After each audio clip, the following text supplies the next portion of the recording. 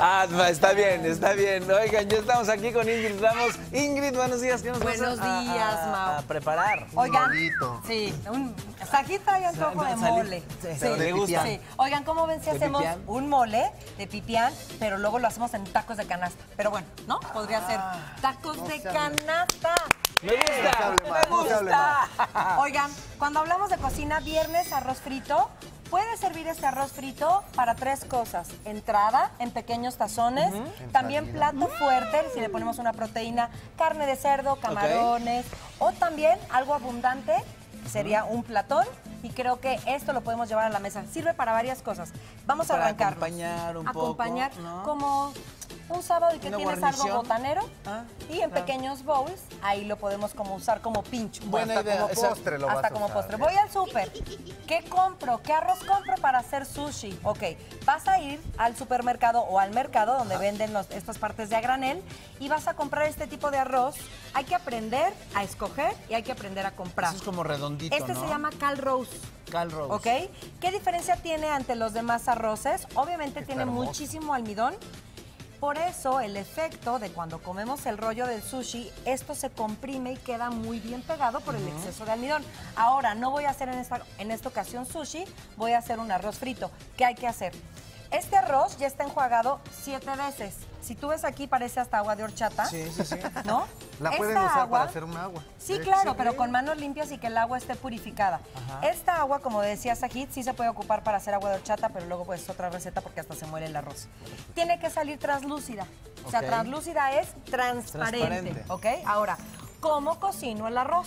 ¿No? Pero a ver, ¿por qué siete Qué veces? complicado bueno, pueden arroz. ser seis o siete veces, no importa el número, pero que salga translúcida. Órale, Ah. Qué una complicado. te- sí, Sí, o queda de sí. repente como El arroz a la mexicana o a veces es está como diferente a pegajosón, este. luego está como crudo.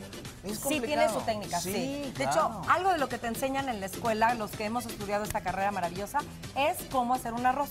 Entonces, bueno, supongamos que estamos en la escuela. Venga, y les vamos venga, a me enseñar encanta, me encanta. cómo cocinar un arroz, pero para sushi. Bueno, pásame el agua, Sajid, si fueras tan amable. No tengo estas vaporeras de estos restaurantes orientales o japoneses. No pasa nada. Yo esto les he enseñado a los chicos que luego les doy clases. ¿Eso, eso que tenías, perdóname, es una taza? ¿Esto? Ajá. Esto es un No poquito más, más de ¿no? una Un taza. poquito más de una taza. poquito más de una taza. Dos tazas. No tengo más que la olla convencional de mi casa. Ahí te va y por favor pon atención. Me vas a ir vaciando un poquito el agua. Claro. Y Suavecito, cuando el suavecito. agua llegue, fíjense aquí está mi mano, el tip.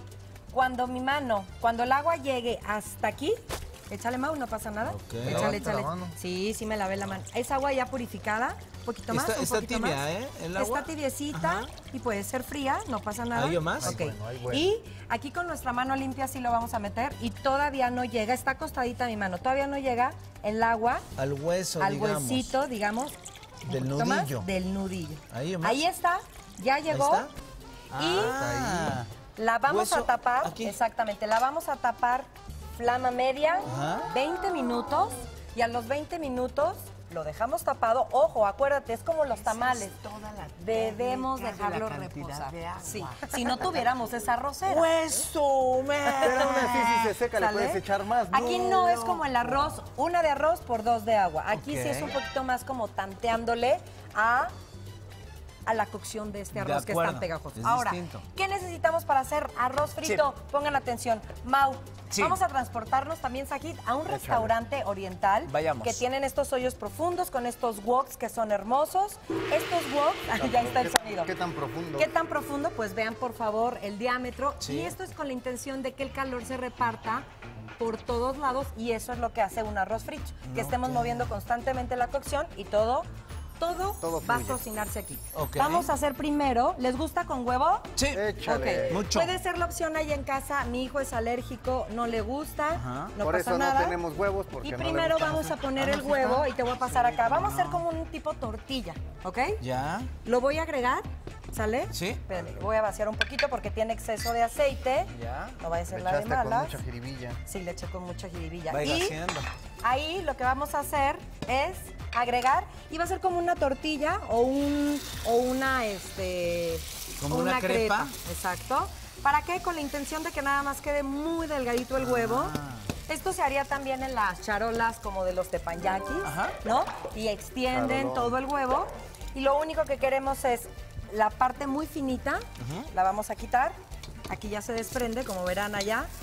Y en este mismo sartén o en este mismo wok, vamos a vaciarlo Que se queme, que se queme. y vamos a ir poniendo todos los ingredientes.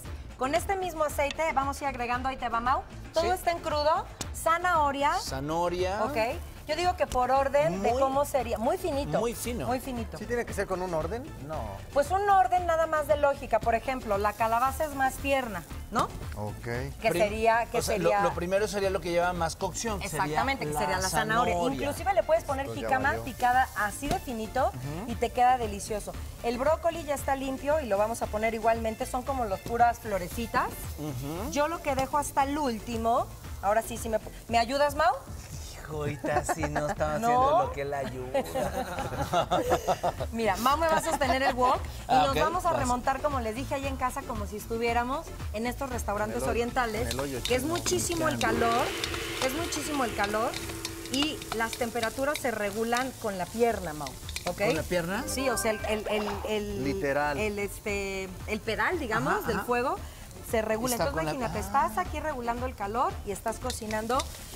Sí, es, Es una, una buena, técnica. es una buena técnica y aparte es una buena friega estar en una cocina, ¿Cómo como no? diríamos los cocineros, en una buena camotiza. Así. Ande usted. Ok. camotado. Aquí le vamos a poner aceite. un poquito de jengibre, Ajá. es el que perfuma y aromatiza. Váyanse, por favor, midiendo este el jengibre Ay, porque rico. perfuma.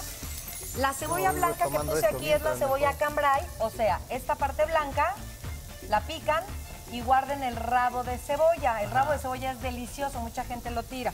Entonces, Súper fino. Súper fino. Se llama arroz fino. frito, no le tengan miedo a la grasa, se vale. frito y fino. Es viernes. ¿Cómo Aparte, la cantidad de aceite que le has puesto Es sido nada. nada. Ha ¿Estás de acuerdo? Una cucharada. Con Es todo lo que le quitaste es una cucharada. Le vamos a volver a poner un poquito más de aceite. Y Sin aquí miedo. le vamos a agregar el ajo. Ok. El ajo, que para mí es algo infinitamente delicioso, pero hay que cuidar que ya No se, que no se pegue. Supongamos en lo que esto se está salteando o sofriendo, nosotros ya tenemos nuestro arroz cocido. En cuanto esté cocido y reposado después de unos 10 minutos, extiéndelo en una charola. Que Mau. sería Que este. sería este. Extiéndelo en una charola para que se enfríe, porque caliente, si tú luego luego lo pones en el wok caliente, ¿me ayudas a partir este huevo así como en tiritas? Ahora Ya yo te lo detengo. Si tú lo pusieras muy caliente, lo que va a formar por el exceso de almidón que tiene este arroz, bolas. Ok. ¿ok? Y aquí es donde, por favor, pongan atención cómo se debe freír un arroz en un wok. Te lo voy a vaciar el arroz. Ok. Parece tan fácil. Aquí está. Lo vamos a vaciar. Este arroz ya está cocido, no se les olvide. Ahora sí que este arroz. Ya se está coció. Muévele, Mau, muévele con las dos palas. Eso, eso. Integra todo.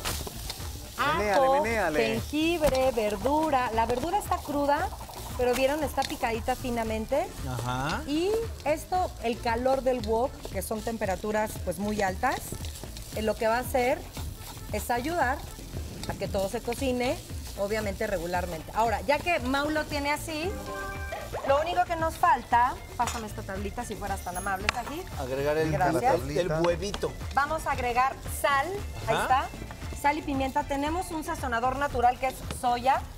Midan un poquito la sal, ¿ok? Porque la soya, acuérdense que pues es alto en sodio y, sa- y sazona rico, pero al final pues, lo Menéale, tenemos que menéale, medir. menéale. Aquí, rabo de cebolla. Rabo de cebolla me encanta fresco, Mau. Ok. ¿Sale? Vamos a ponérselo. Ya un Aquí minutito estamos. arriba. Sí, ya, échale ¿Listo? todo el huevo. El huevo. Corre. Y por último, le vamos a agregar la soya para sazonarlo. Ahí está. La soya en las orillas, por favor. Ah, en la orilla. Sí, en la orilla. ¿Por qué? Porque si lo pones al centro, Pau, Se queda por se queda lugar. todo, con- o sea, se queda ahí todo concentrado, entonces hay que repartirlo. Ya estamos. Ahora sí, plato a degustar. Sí, Arrocito en viernes. Pues ahí, aquí en Sale el. Sol. Oye, qué bien, estamos. qué Vámonos. bien huele. Ahora sí, alcanza ¿Ya? para toda la cabina, ¿eh? Para todos, para todos. Ahora sí. Échale. Ahí está. Ahí te voy, Ahí te. Ya está. Todo tuyo. A ver. Ay, Eso amá. es todo. Yo nada más Pásame vine un a que tenedor sea si fuera ¿Quién prueba? ¿Quién prueba? Ahí está. Sajid, dale un llegue, dale un llegue. Ahí está. Sí, ya yo estamos. que no Uno y uno. nada, Y ahí va a estar también esta, esta receta en las redes sociales. Hoy viernes, degústenla. Rica. Carlita. Gracias. Buen provecho, no, no me desconteo. porque- Sale el sol. lunes a viernes de 8 a 12 del día. Participa en Imagen Televisión.